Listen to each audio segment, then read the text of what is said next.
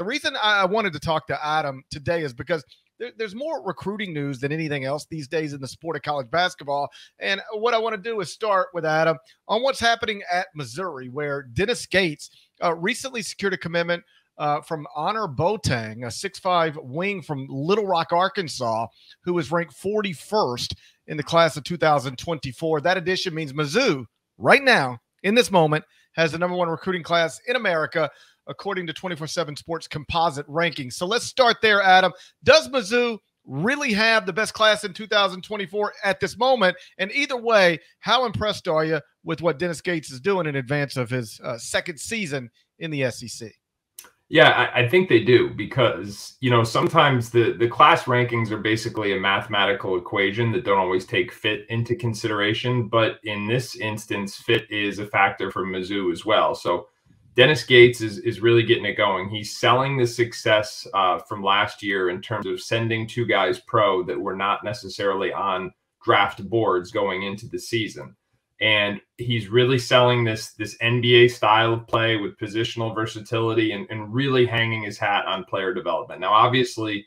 Um, NIL is the cloud that looms over every recruiting discussion these days. So I'm not even going to go there, but suffice it to say, we're just assuming it's competitive because nobody's going to get anything done these days if it's not. But beyond that, um, the player development, the track record that dates all the way back to Florida State of getting guys to the pros, that that's really resonating, and and he is resonating with with these kids who are, are just believing in his message of player development, positional versatility, and getting guys to the league got four players in the class right now. It's Annor Boateng, six-five wing. He's ranked 41st in the country. Then there's Peyton Marshall, a seven foot center, 57th in the country. Marcus Allen, six-six wing, 63rd in the country. Uh, T.O. Barrett, six-four point guard, 88th in the country. So that's four top 90 guys in the country. It's interesting because, you know, we're still in September of 2023. These are guys who will uh, play college basketball, not this upcoming season, but the next season. I just sort of skimmed through. Most schools right now have like one commitment or two. Missouri has four. Let me ask you. Um, obviously, Dennis Gates has prioritized the high school ranks. There's no way to get four commitments uh, before October 1st if you haven't. How much has you mentioned NIL and the one-time transfer waiver changed the way staffs are prioritizing high school basketball players. I know Missouri still is, but it seems like certainly eh, the numbers have been shifted a little bit at most places. You know, I think the biggest change is in in relation to the calendar. What we saw last year and what I expect to continue this year was a, a big emphasis on high school players throughout the course of the summer and heading into the early signing period, and then almost a ceasefire through the course of of the college season and even the high school season. I've never seen less foot traffic uh, during the high school season in terms of college coaches on the road recruiting than I did last year. So I think, and this is this is a generalization. Obviously, it doesn't apply to everyone, but I think for the most part, the strategy is to land players who who coaches believe can be immediate impact talent and to get them early, get them done by the early signing period, and then focus on their team and whatever additions they need after the course of the season to focus on the portal. What I will tell you, GP, is the schools that go into the fall saying, oh, we're going to get what we need in the portal. We've only got three. We're going to be able to get three guys in the portal. Um, they end up being behind the eight ball in the spring because inevitably they end up with six because three guys seem to leave every program.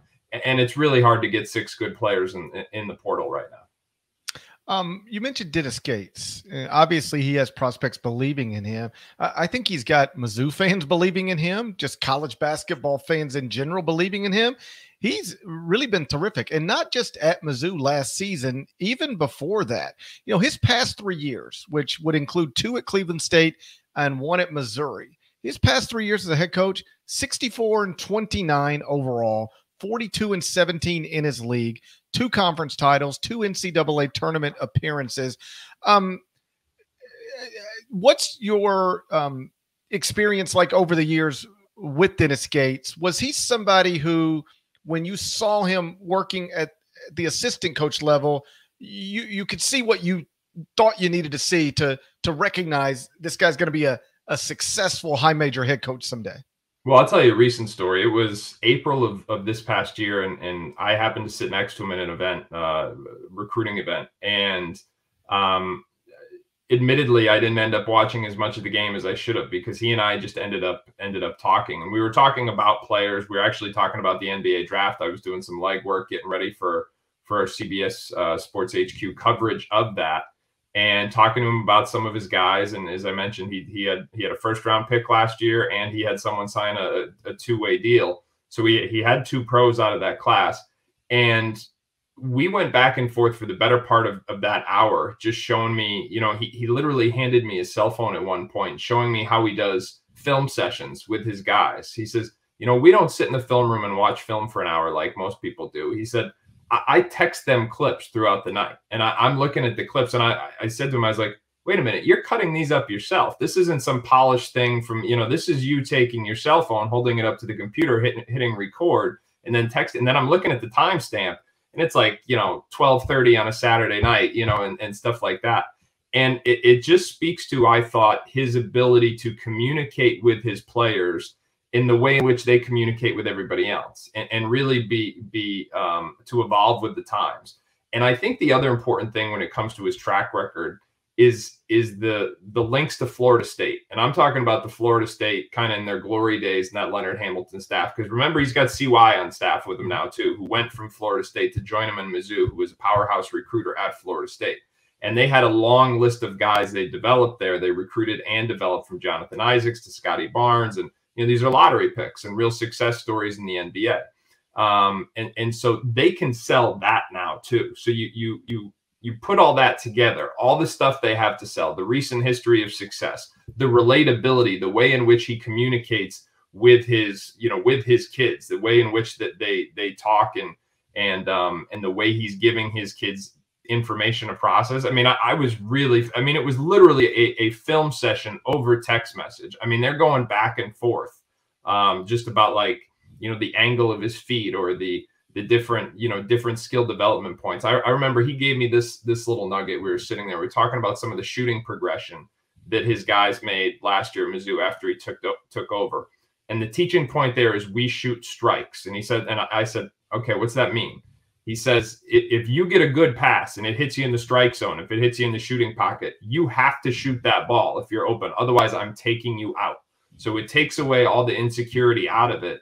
And when players have not just that confidence, but that mandate of you must shoot this ball, you saw the shooting percentages really jump up, and that paid off in the NBA stock of a couple of different guys in that Mizzou squad last year.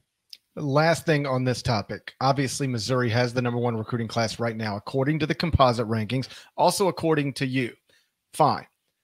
When it's all over with and the class of 2024 is in the books, what school we have to do this for a dribble handoff tomorrow, cbssports.com. I should probably ask you before I start submitting my answer. What school is going to end up with the number one recruiting class in America? I think it'll be Duke. Yeah. Um, Duke, Duke's, you know, the perceived favorite for for Cooper Flagg right now. They just got Kon Knueppel last week, so they've got they've got three commitments, um, including two five stars right now. But if you look at their roster this year and the types of losses they could have following the season, and I, I mean, I think it's a pretty good chance that the whole starting five is is out after this year at Duke. So they're going to need to still uh, be be recruiting at a really high level. And you look at the players they're still involved with, from Cooper Flagg, uh, who's the number one prospect in the country, Patrick Ngongba, who's one of the best uh, big men in the country, VJ Edgecombe, who's a top ten player in the class. So they've got a and, and Dylan Harper, of course, who you know we thought was was debating between them and Rutgers, where his brother played, but now is going to be taking some more visits. So they've still got is as many five star targets left on the board as anyone in the country, and they have to land. Uh, it I think at least two more of them. So that would give them four five star prospects, and I think that would be good enough for the number one class in the country. So Adam Finkelstein thinks Duke will ultimately end up with the number one recruiting class in 2024, and there's a good chance whether they do that or not they could end up with the number one recruiting class in 2025 because that's a class that features Cameron and Caden Boozer.